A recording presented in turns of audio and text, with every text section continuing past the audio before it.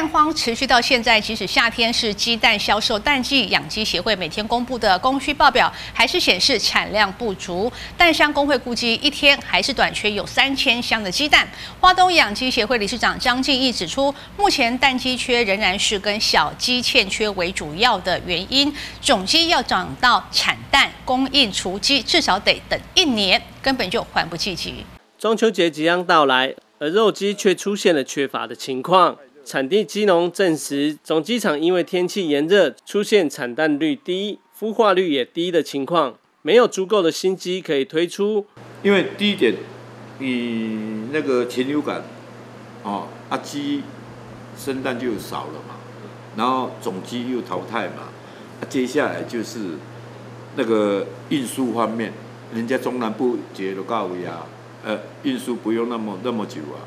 啊，咱运输那个只死死伤，我们又又不不甘愿啊！啊，我给你订一千只，你搞死五五十只、一百只，你还赔我？那这样两边都无法度平衡啦。啊，总之上当然啦，我我训练出来，种家庭的鸡仔囝，啊，训练人买买买买买爱，我袂较方便啊，一接就在去啊嘛。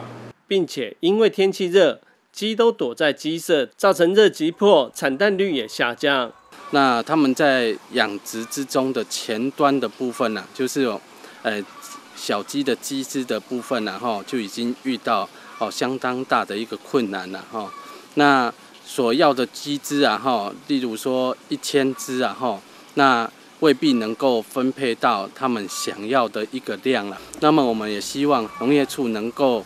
呃，协助我们的农民呐，能够进行啊养鸡的这个总厂商啊，哈，能够啊，哈，来进行协商然后，那来在前端的部分然后来进行协助他们然后，能够在鸡只的方面就有足够的一个量啊。业界传闻禽流感蔓延至高雄屏东一带，造成鸡只耗损，产地认为鸡蛋供应时间短期内难以缓解。甚至极有可能一路缺到明年，这也使得鸡蛋价格居高不下。